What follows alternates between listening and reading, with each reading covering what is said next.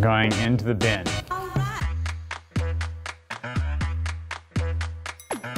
Can climate change cause pandemics? Cause is a really strong uh, word. Reaching into the box. Does climate change affect natural disasters? So we know uh, from years of research now that extreme events are increasing in frequency and intensity around the world, particularly hot events, wet events in some areas, the, the severity of drought, flooding, uh, particularly from landfalling storms. In my research group, we've tried to quantify not only how these uh, hazards are changing, but also the impacts. We find that the financial costs of flooding in the United States over the last three decades, about a third of the financial costs of flooding have been contributed by intensifying precipitation, the, the wettest events getting wetter. So that's billions of dollars a year. The kinds of extreme events that contribute to disasters are increasing, and we also now know that they are contributing to the costs of those events. Reaching into the basket. Does climate change make winter colder? There are some theories about ways in which global warming could change the atmospheric circulation in a way that might create more severe cold in the middle latitudes. This is hotly debated. What I would emphasize uh, is that warming overall and increasing severity of, of hot events doesn't mean that we won't still get cold events. You know, Steph Curry uh, is a great free throw shooter, statistically one of the best of all time, makes about 90%, 9 out of 10 of every free throw that he attempts. If you turn on the basketball game and see Steph Curry shooting a free throw and he misses, you might be disappointed, but uh, that doesn't invalidate the fact that Steph Curry is a great free throw shooter. In fact, it's very consistent with the overall trend. Is climate change a social issue? Uh, so, climate change absolutely is affecting society. We have very clear evidence of this. Much of this is from extreme events, from heat waves and uh, intense precipitation and flooding and wildfires. And uh, it's not just that we're being impacted overall. The most vulnerable communities and individuals are being impacted particularly acutely. Uh, one example from research here at Stanford that I've done with my colleague Marshall Burke, a large number of countries that are already warmed and have large fractions of their populations that are in poverty.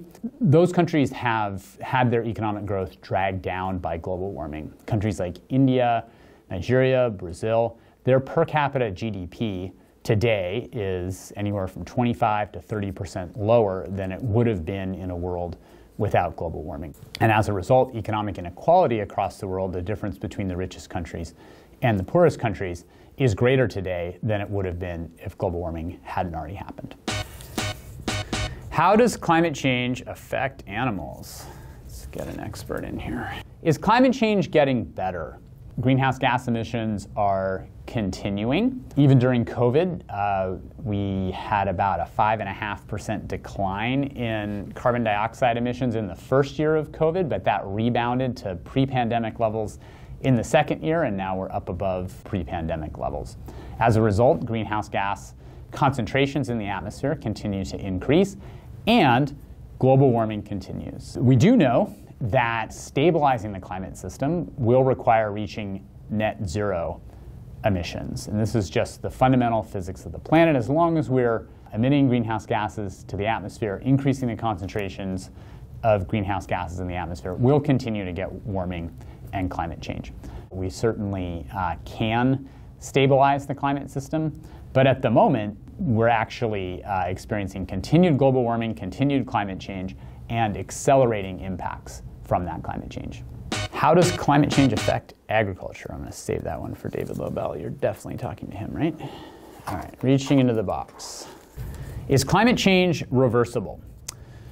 So, in theory, over long time scales, there are aspects of climate change that could be reversible, uh, particularly for global warming. If you know, we were to draw down uh, greenhouse gas concentrations to their pre industrial levels. Some of the warming that's already happened could be reversed. However, That's not the trajectory we're on. At this point, the question is uh, will we be able to stabilize global warming, not reverse global warming? And it's really important to keep in mind that there are some aspects of climate change that w- will be impossible to reverse, particularly on our societal timescale. So if we think about the large ice sheets, for instance, you know, it took you know, in the case of those large ice sheets in, in, in Greenland and Antarctica, not just thousands of years, but even longer for those ice sheets to accumulate. You know, if an ice sheet is, is uh, lost off of one of those continents, we will not be able to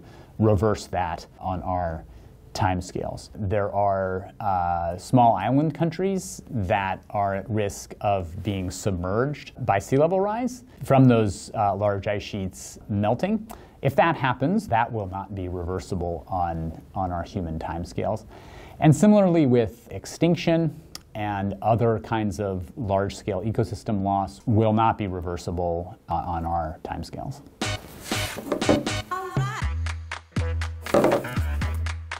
Well, yeah, it goes a lot faster if you skip them.